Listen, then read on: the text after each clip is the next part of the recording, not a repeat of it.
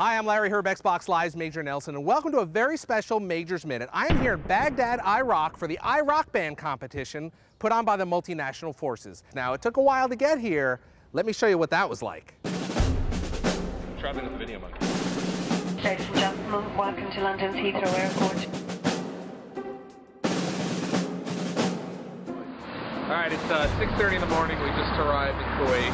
It's um, really hot, and we're waiting for our next uh, round of orders from the government. Well, if you're ground evacuated at any point in time, you hear a loud ringing or buzzing, however you want to describe it, tone, we'll direct you to go ahead and exit the airplane.